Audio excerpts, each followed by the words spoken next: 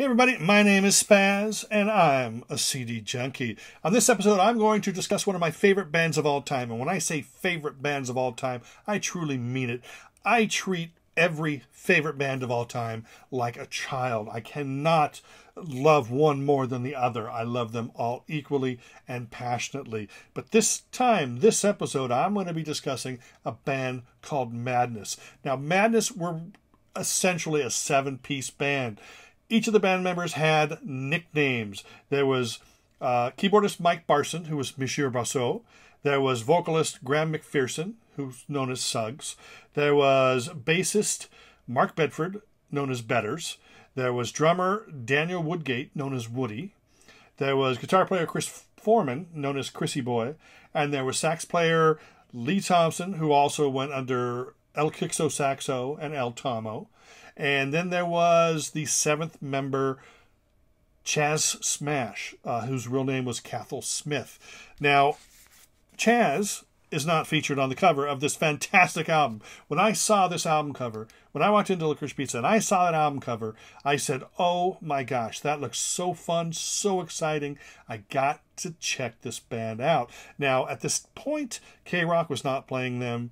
Uh, none of my friends had bought anything by Madness. Nobody knew anything about them, but it just looked so fun. I, I, I had no idea whether it was going to be punk or power pop or whatever. I just knew that with that album cover, I had to try it out. And boy, I love this album to this very day. Released 40 years ago. That's right, it's the 40th anniversary of this album.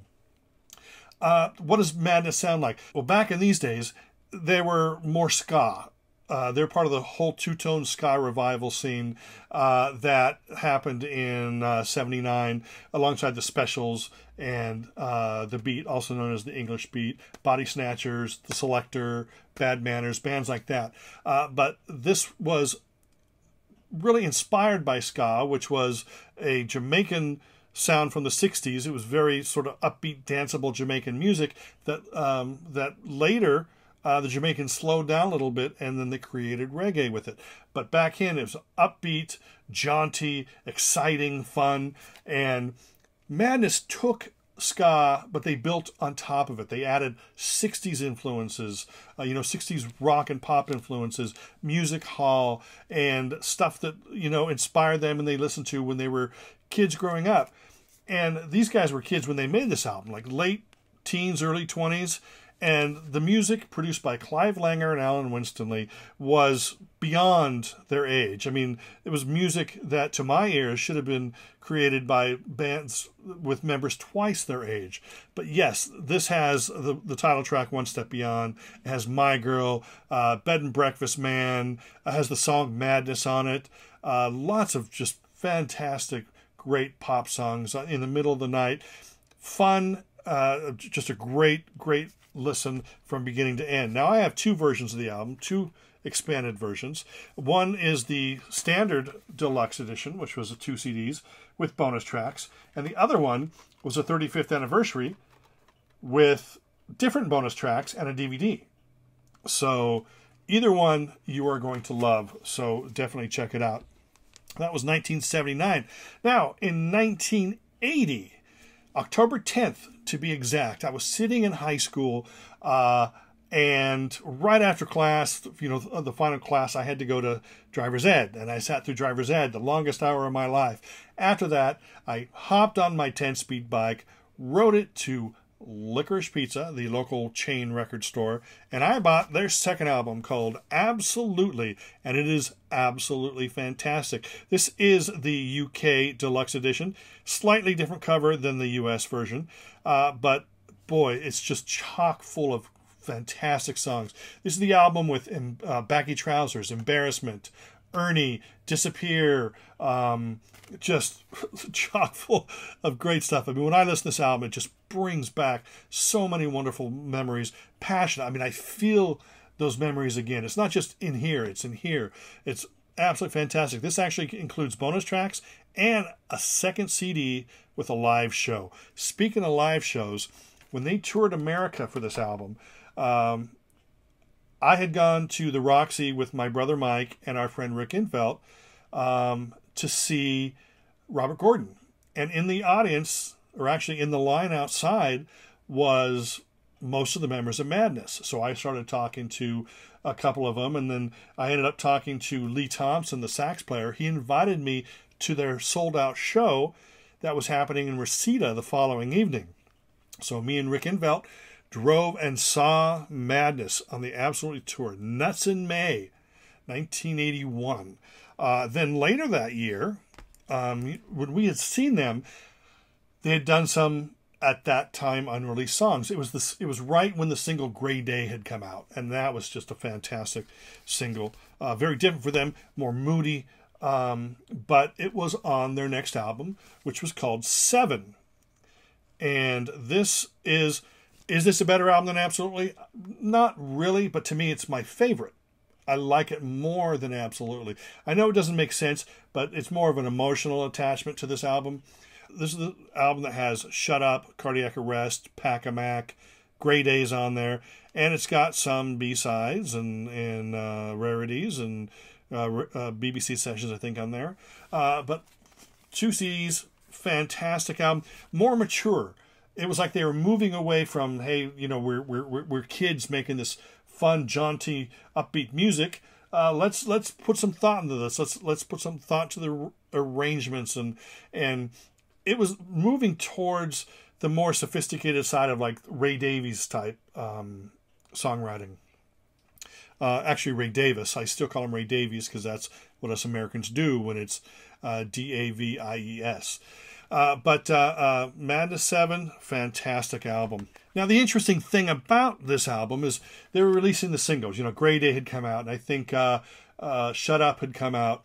But then all of a sudden, boom, out comes a single called It Must Be Love, which was not on the album. It was not on the original album. Uh, and then they released like Cardiac Arrest.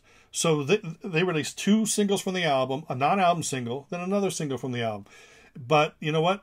Guys like me were buying them like crazy. And of course, "I Must Be Love" is a huge hit for them in the UK because it wasn't released in the US. Now, speaking of not released in the US, after the album Seven, they released a compilation called Complete Madness that had a song called House of Fun on it, which was not on any album. Then out comes a single that really made its mark in the UK and would make its mark in the US. They came out with a single called Our House, and that is definitely their most well known single in the US. It was on this album here. Uh, called The Rise and Fall that came out in 1982. Now, this album is not a fantastic album. I know critics love it and I know fans love it. I don't think it's as good as the previous three, but it does have our house. It does have Tomorrow's Just Another Day. And yes, it's a really, really, really, really, really good album, uh, but I don't love it 100%, but a lot of people do. But instead of this album coming out in the US, what they did is they took the best of this album and then they took the previous singles, um, Our House, or then they took the previous singles, House of Fun, It Must Be Love, and I think maybe one or two tracks from uh, the One Step Beyond album. And then they created an American album called Madness. And of course, Madness had Our House, which is a huge hit in the US for them. So actually, this album is the original album that Our House is on. Sort of a concept album, but then they released a couple more singles, such as uh, Wings of a Dove, which was very uplifting, had a gospel choir in it, uh, and then The Sun and the Rain. And then they released Keep Moving, which did not have those songs on it. Um, it did have the single Michael Caine on it. This, again, was a more mature album. They were thinking less about singles and more about sort of the sound of the album and, and, and the album flowing together. Um, they do have some great songs. You know, Victoria Gardens is another song. It's a strong record, but you can tell that they're sort of running out of steam. And you can tell even more when keyboardist Mike Barson, Monsieur Barso, left the band. Now, the album did come out in America. I just happen to have the American version. And that they added uh, a couple tracks on there. They added Wings of a Dove and The Sun and the Rain. So if you want those two songs, you can get them as bonus tracks on this 2 CD edition, or you can just get, you know, hang on to your American one if you've got that already. Now, let me remind you remember when I told you that Clive Langer and Alan Winstanley produced their albums? They were still producing their albums. So they were sounding just absolutely fabulous. Langer and Winstanley um, also produced Dexys Midnight Runners and um, lots of great albums around this time. Uh, but then with Mike Barson gone, uh, they sort of started changing a lot. In fact, this album called Mad Not Mad, which came out in 1985, this was a very dark album indeed. A lot of slower songs, um, not as as as jaunty and exciting and fun. Uh, in fact, not at all. But there were some great songs in there, like you know, "Yesterday's Man" is a great song, and um, "Tears You Can't Hide." So not an absolutely stellar album, a very mature album. Uh, and and when I say dark, I don't mean like like uh, somber and sad. It's just not an upbeat album. And after this, they released a single called uh, "Waiting for the Ghost Train." Uh, Mike Barson had come back just for that single, and that was it for Madness. They said "Adios, amigos," and um, that was kind of the end of them for a little while there. Three years later, out comes The Madness. That's right. I know it's a little strange, The Madness. This actually wasn't Madness, it was for the members. Uh, there was uh, Suggs, and there was Chris Foreman, and Lee Thompson, and Cathal Smyth. Woody, the drummer, went in a different direction. He he helped form uh, Voice of the Beehive, which had a couple hits. Uh, but this album is Madness trying something new. It sort of begins where Mad Not Mad ended, uh, adding different sounds, more electronics. Uh, there's some good songs on here. It just was not that successful uh, of an album. They, they they were trying too hard, I think, to try something new. Some great songs in here, great performances. Just as a, as an album, it was not as solid as their previous albums. And this 1988 release was the last thing that they released. Now, Suggs would eventually record solo, and um, uh, Lee and Chris would form uh, the Nutty Boys, which became Crunch. Then in 1992, all seven members reunited for a show uh, that they called uh, Madstock, and it was a huge success. Uh, those fine British people love Madness, and Madness are a musical institution there. So the band was greeted with open arms and plenty of love that inspired them to continue playing live together. But it took another seven years, 1999, before all seven of them got back in the studio and recorded an album that lived up to its name. Yes, this is wonderful. Uh, and it's a fantastic return to form, again produced by Langer and Winstanley. Lots of great material. I mean, the minute you turn on and you hear like "Love Struck," you it doesn't sound like they've ever been away. This is uh, a great, upbeat, wonderful album, and of course, plenty of bonus material. Uh, all of these so far, apart from this, uh, have been released on through Salvo Music. It's a great reissue label. It took another six years for a new Madness album to come, and that's the Dangermen Sessions. And this was basically a collection of cover versions. And this is the first time that Madness released an album that was not produced by Langer and Winstanley. And uh, although it's a fun record, it really is. It's a really fun album. Um, people didn't wait six years for cover versions, and that might have uh, helped push guitarist Chris Foreman uh, to leave the band. But uh, he did leave the band after that album was released. But thankfully, four years later, Chris Foreman, Chrissy Boy, was back in the band, and they released probably their most critically successful album. This came out in 2009. It's called The Liberty of Norton Folgate.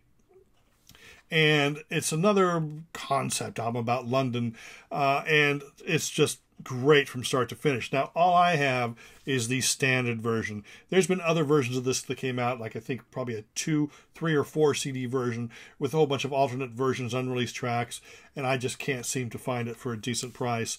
But I love this album, and so did everybody else because it was a huge record for them. It even did better than Wonderful. See, Wonderful is a great return to form from Madness. Great songs, instantly appealing. The Liberty of Norton Folgate is more of an album that it took a couple listens to get into, uh, but it's it's still fantastic. I mean, sometimes the greatest albums are the ones that kick in and and grab hold of your your your your, your heart and soul the third or fourth listen, and that's one of those albums. I mean, there's some songs in there that were instantly lovable, but ultimately, uh, the Liberty of Norton Folgate is just a fantastic album. So we had to wait another three years for a new Madness album, uh, but something happened in those three years because Mark Bedford disappeared, and he wasn't on the next album, and it was no longer produced by Langer and Winstanley. Uh, it was Clive Langer did produce a track on there, uh, but so did Stephen Street and a couple other producers. The album Oui Oui Si Si Ja Ja Da Da came out in 2012, and very very different from Madness. They were trying different styles. Very successful, by the way. Uh, even though the song "My Girl 2," uh, it sounds nothing. It's not a remake of the song "My Girl." It just happens to be called "My Girl," so they called it "My Girl 2." Uh, but a solid collection of songs. Again, one that you have to listen to a few times. And for people expecting that Langer and Winstanley production, are going to go, "Hey, this sounds different." That's right, because it is. So another fine album, Oui Oui Si Si Ja Ja Da Da. And this album cover has a link to the Beatles. Do you know what that link is? It was created by Peter Blake, the same guy that did Sgt. Pepper. A little bit less fancy, a little bit less elaborate than Sgt. Pepper, but heck, it's madness. So definitely check that one out. Four years later comes Can't Touch Us Now, another fine album by Madness, another great cover. You would think that that would be the one that Peter Blake did. But anyway, another fun album. Clive Langer was back, but Alan Winstanley wasn't. But then Mark Bedford, the bass player, was back, but then Chas Smash, also known as Cathal Smyth, was gone. Uh, so this is a six-piece madness, recording another great collection of songs. And again, nothing that was going to hit you instantly, but once you listen to this album two, three, four times, uh, the songs were, were were definitely you know clutching at your brainstem, and and uh, another fine madness album.